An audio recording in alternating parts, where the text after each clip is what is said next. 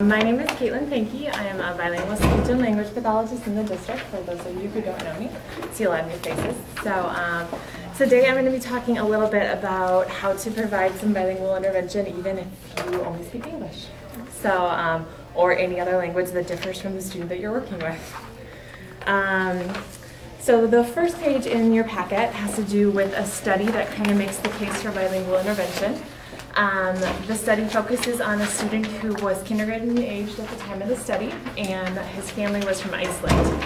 Um, he had been uh, diagnosed with significant language delays in preschool, and at the time of diagnosis, um, the speech path had actually recommended that he get therapy only in English. Um, so for at least a year or two, um, by the time the study started, he had been receiving intervention solely in English. And as a result, he kind of had um, limited communication with his family, with his extended family. Um, so as they got ready to prepare this case, they suggested bilingual intervention because they noticed that English intervention really wasn't working for this child.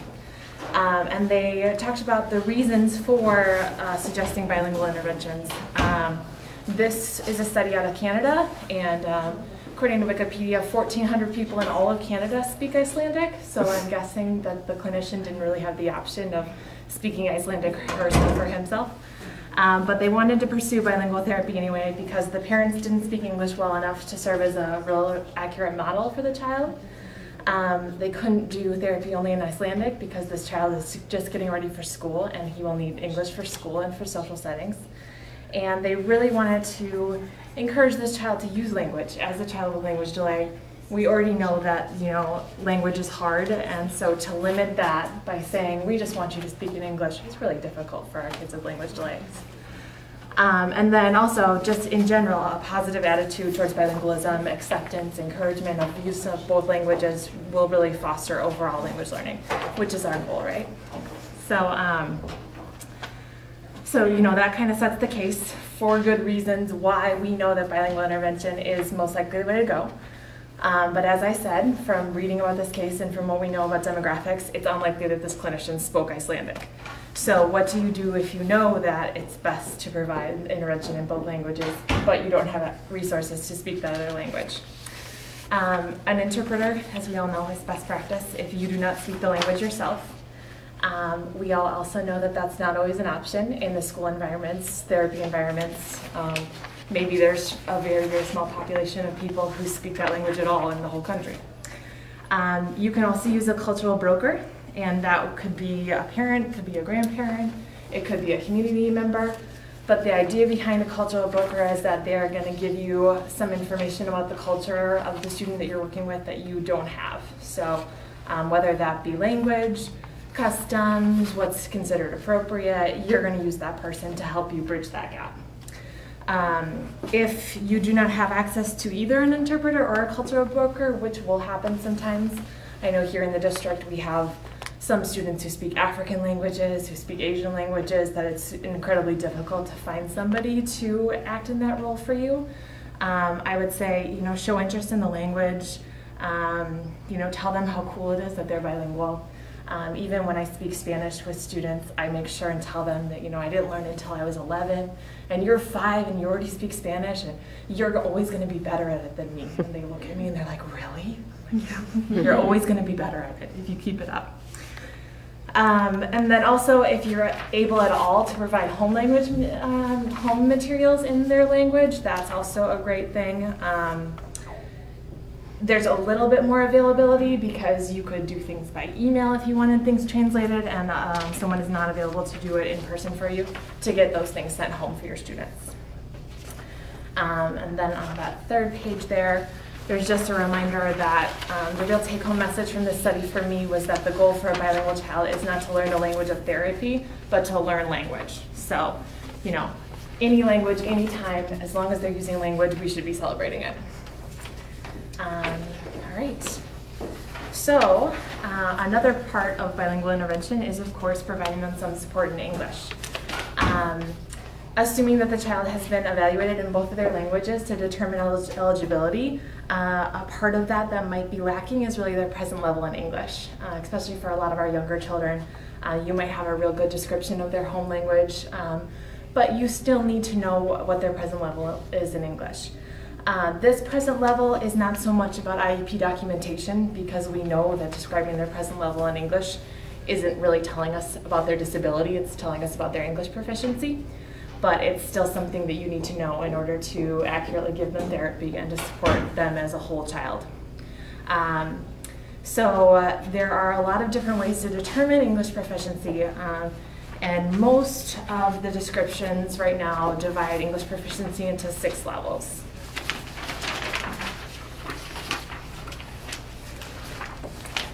Um, there's a basic description of the six levels of second language acquisition.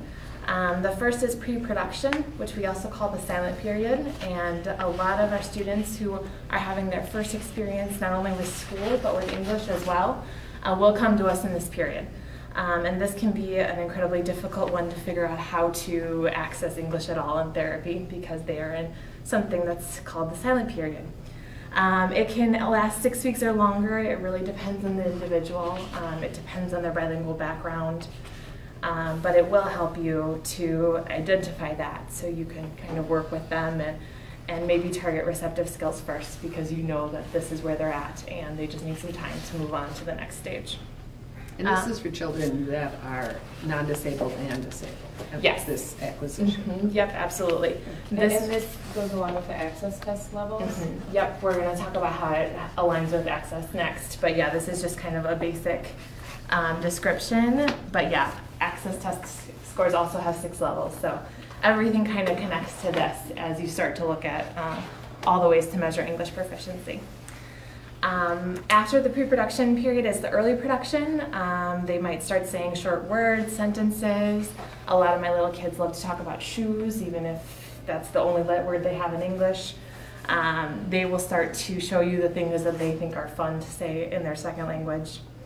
Uh, after that, they'll move on to speech emergent, where they might start to give you those little phrases, I want something. Um, all depends on, on what they most need to communicate with you. Um, beginning fluency is when you see that social speech and you may start to get confused as to why a student is still having academic difficulty in English because socially they're seeming to do very well and to have really developed those English skills. Um, but that academic vocabulary, um, different contexts will still show you that, that uh, English is still very much their second language.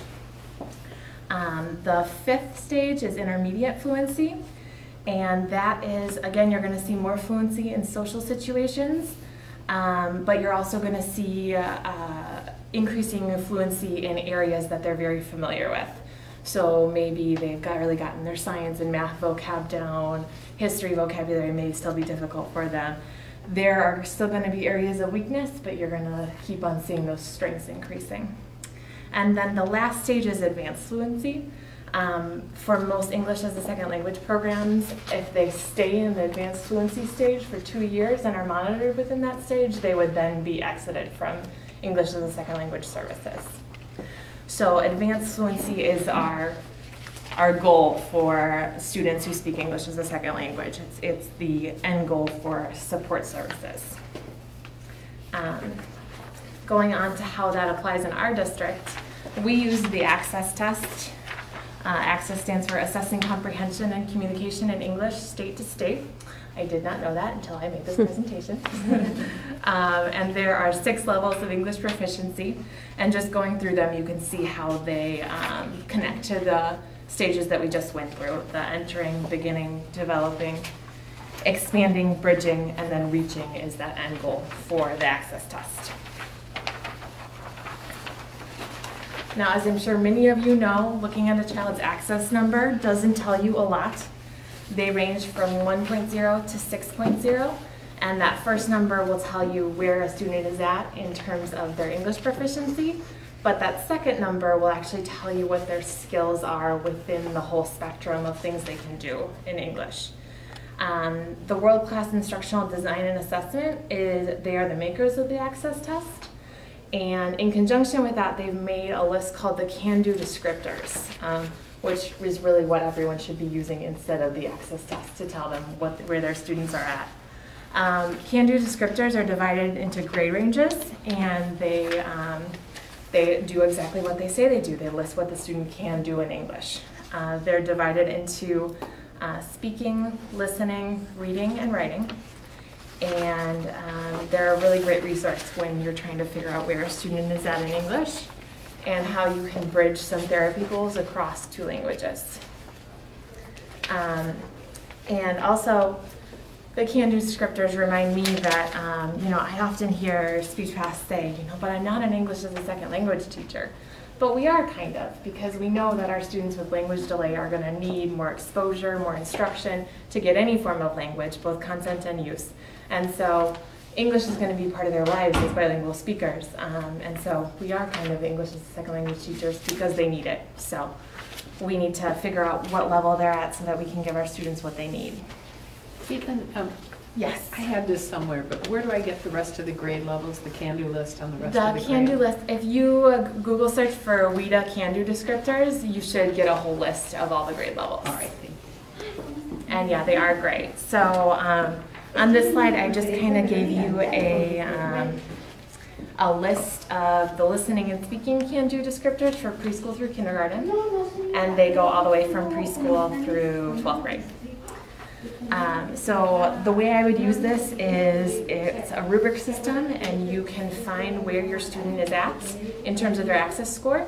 Um, and then uh, again, like I said, that second number is going to tell you if they're closer to the next level or if they're still really um, strongly within that level. So anything 0.5 and below you know, they're still working on skills within that box as they get up to 0.6, 0.7, 0.8. They're getting closer and closer to that next level.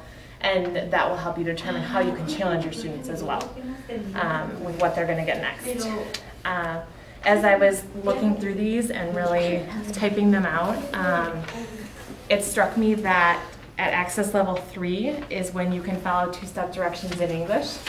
Um, and I think we really underestimate that, you know, our students need to be that, at that level in order to, um, in order to be able to show us that they can follow just two-step directions in English. Um, so the next portion, I went through and I came up with some language activities that will benefit your students at all proficiencies and across their languages. Uh, one of the things that you can do is to teach vocabulary using cognates. Uh, cognates work best if you're working with a student who has two languages that are related linguistically. So Spanish and English have about 30 to 40% of words that will come up as cognates. If you're working with a student whose first language is Chinese or Hmong or an African language, cognates are not going to be so useful.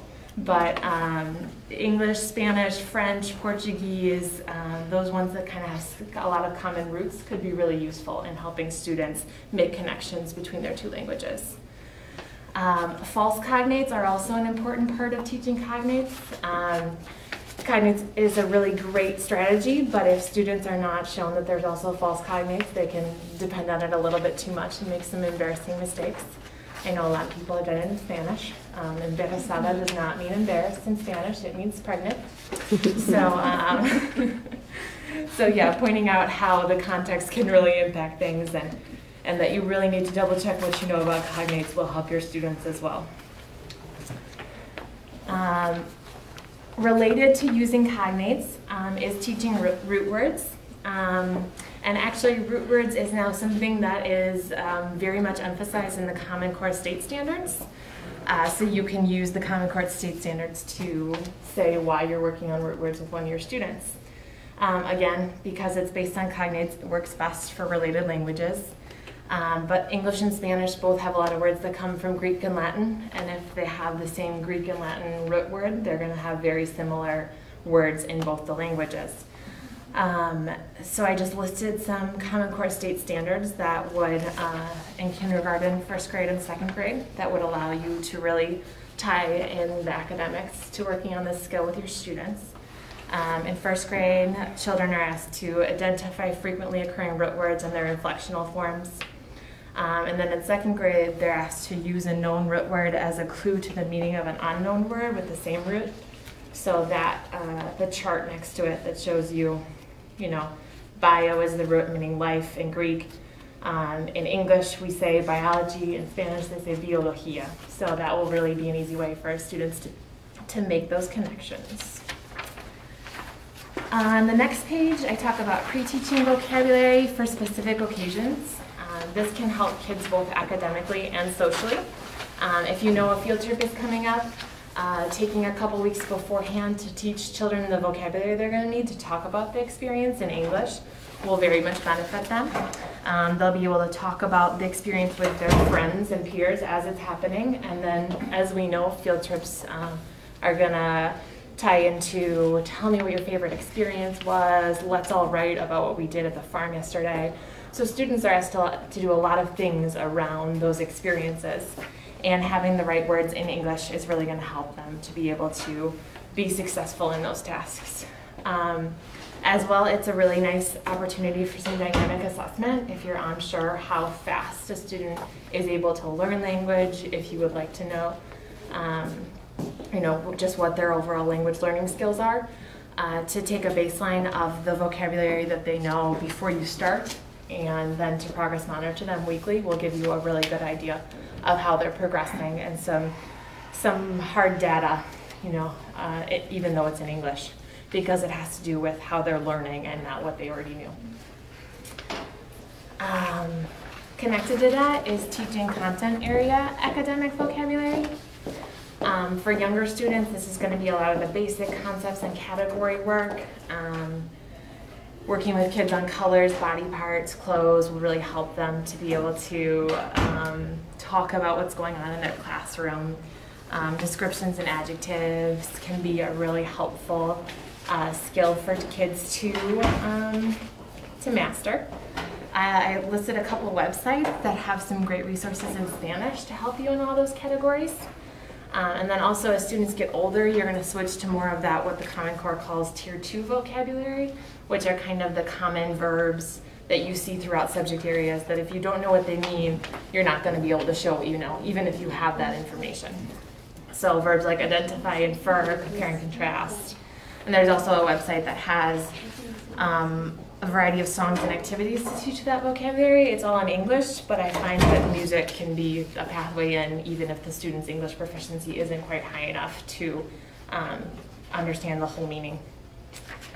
Um, and then the second to last page there, I just talked about teaching vocabulary using a variety of fiction and nonfiction texts.